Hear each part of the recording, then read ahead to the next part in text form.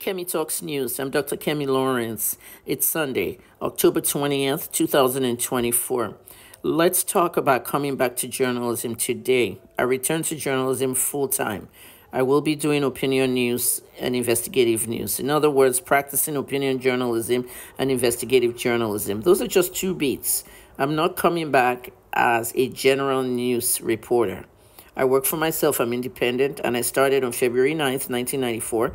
I ended on February 9, 2024, something I announced in 2021, and I hashtagged it Media Kemi 30.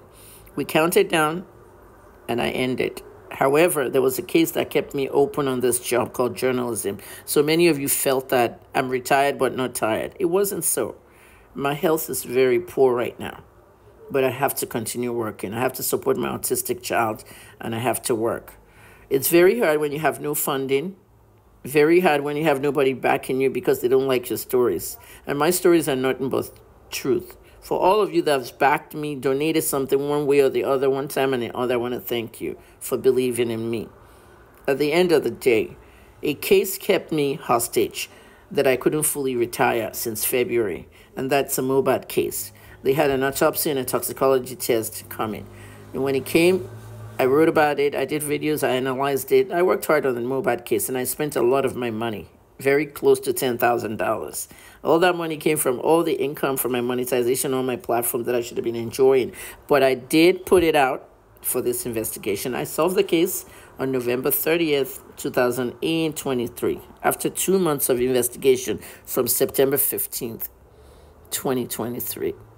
And then when I reopened the case, based on the autopsy and toxicology test, I did a roundup and I found out the same information. New things came out. Some of the stuff I said before in November came out. The fight at the railings, everything. But still, Nigerian police has refused to even give this case any kind of light. I have tried my best to get Mohbad's story in the international media I went to everybody in the international media and nobody wanted to do the story. And you know why? Because when the international media like Fox News, CNN, any of them, music magazines have to do this story, they have to reference it to police, a police spokesman. And the police hasn't solved it and they wouldn't talk about it. So you see where it happens that the media cannot even move forward because of people using power to use you to hold you hostage in a story. That's what they call journalism hostage taken. However, in this new light, Kemi Talks News, I have opened new platforms. I just arrived in Monrovia. Monrovia is the capital of Liberia. I'm here to interview a former president. And I'm starting an area in my brand called Kemi Talks Icons, where I get to interview icons around the world not just West Africa, not just Africa, around the globe. So if you see me tomorrow interviewing Benjamin Netanyahu, you know what I mean. Kemi Talks icons. And those icons don't have to be leaders. They could be celebrities, they could be famous singers, famous anything. They don't even have to be famous anything. They could just be an iconic person that the world just has to know about and that's Kemi Talks icon. So we're in Monrovia. Look at the daylight here. It's 6 o'clock in the morning. It's not even 6 o'clock. This is climate change. Okay, now, as for my platform on TikTok, I want everybody on my TikTok page, 60,000, you know, on my TikTok page to move to Kemi Talks News TikTok page because that's where you're going to be watching my videos now. All my analysis, my opinions, and my investigations. So it's open and it's at Kemi Talks News. Also, I opened Kemi Talks News on Instagram. And you can join that Kemi Talks News page now for Instagram posts. I'm returning to news on Instagram. My personal Instagram page, which is uh, at Dr. Kemi Olunloyo, it will remain my personal page. Now, what I want you to notice is that I didn't open Kemi Talks News as a handle on Facebook, YouTube, or X. My X account becomes 16 years old on Tuesday. Yeah, I opened X in 2008, October 22nd. 16 years old. So I don't want to change anything to. I've already changed it from Kemi Olunloyo to Dr. Kemi Olunloyo. I don't want to change anything to Kemi Talks News. That's my personal page. I'll be using that page to give you all the news items. Also, the YouTube account has also been, you know, in existence since 2011. So I'm not changing that. I already changed it from Kemi Olunloyo to Kemi Talks to this to that. Now it's Dr. Kemi Olunloyo. Facebook, same thing. The URL for my Facebook is now facebook.com slash Dr. Kemi Olunloyo. So you know where to find me. Dr. Kemi Olunloyo on Facebook, YouTube, and X, formerly known as Twitter, and on Instagram and TikTok at Kemi Talks News. Let's go. A lot of stories. If you have a news tip, go to the DM and let me know what your news tip is. If you want something investigated, get some funding and I'll investigate it. For now, I don't have any employees at all. I'm working alone and it's going to be tedious because working around the clock is hard. You know, like when Instablog is posting, they start at 6 a.m. Nigerian time, they end at 11 and they don't post anymore. Everybody goes to bed. I'm going to do something similar. Even though I'm West African now, okay, when I go back to my location, it might be a whole big time difference. So it means keeping your eyes on the news.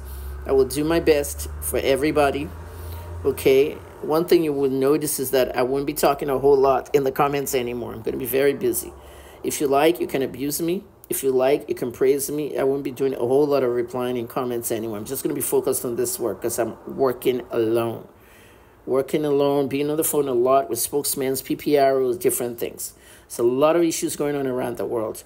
Another question I was asked was that, is this going to be a Nigerian-based um, news organization? No, it's going to be global. All right.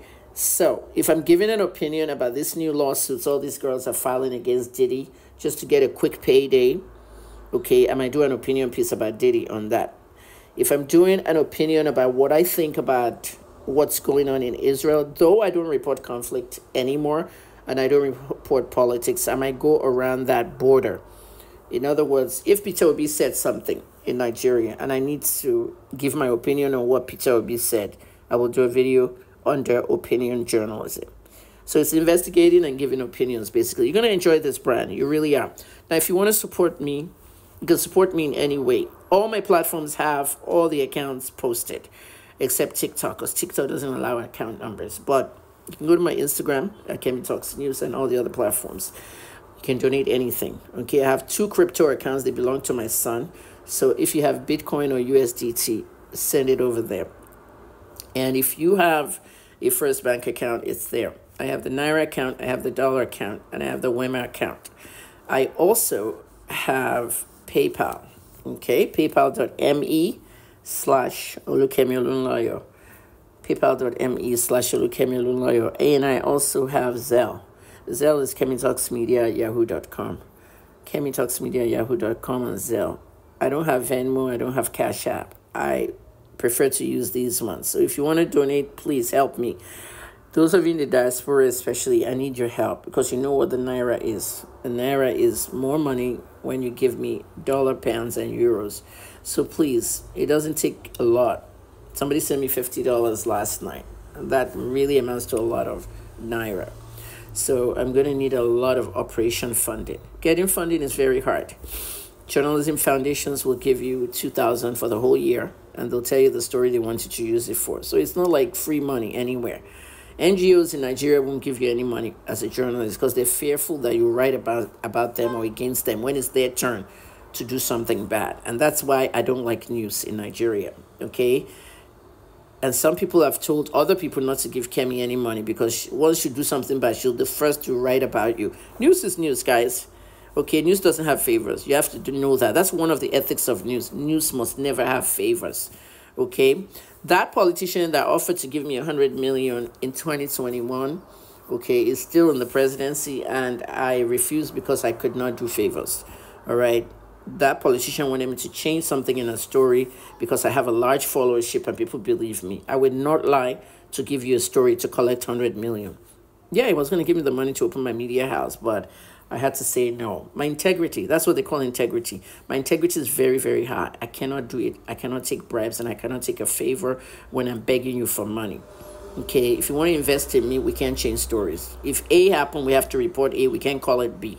All right? So if you want to donate, please help me out. All the portals are there. Thank you very much. You're going to really enjoy life with me on Kemi Talks News. You're going to like this brand. Love you all. Dr. Kemi Olunloyo, October 20th. 2024.